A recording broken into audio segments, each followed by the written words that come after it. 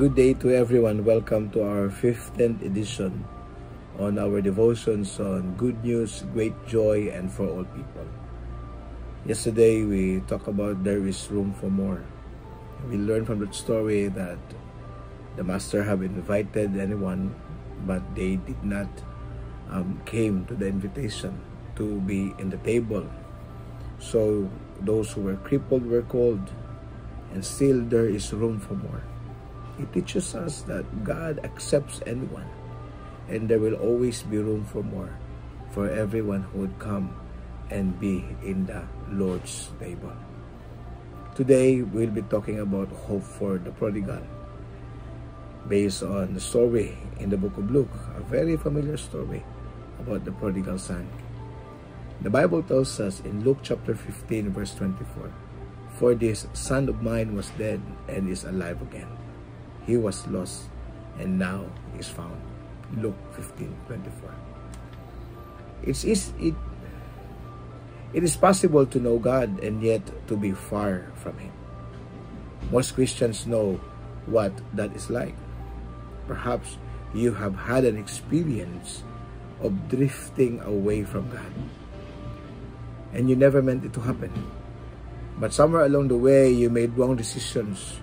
You made wrong choices. And one day you found out you woke up to find that God was far away from you.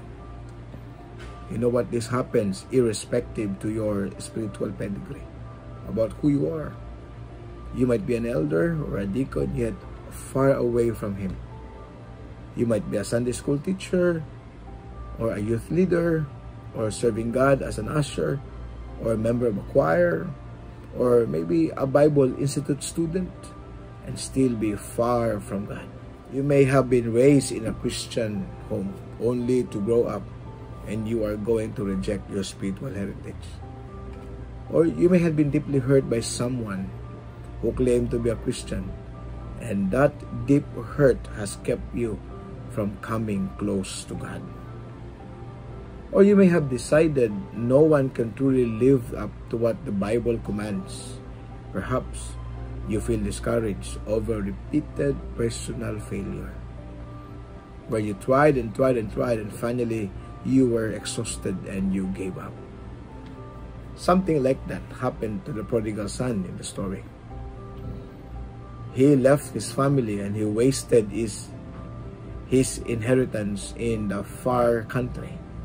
Only then, having lost everything that mattered to him, did he wake up and begin the long journey home. And while on that journey, he must have wondered how he would be received by his father and by his family. It's certainly easy to criticize the prodigal son, but I will tell you at least one good thing about this young man. When the time came to move, he moved. He did not let the grass grow under his feet. So many people say, tomorrow I will arise and go to my father. Or some would say next year or next day or next month. Give me some time to think about it. But this man, this young man, the story, he said, I am going to go. And he got up and went right then. Started that long journey home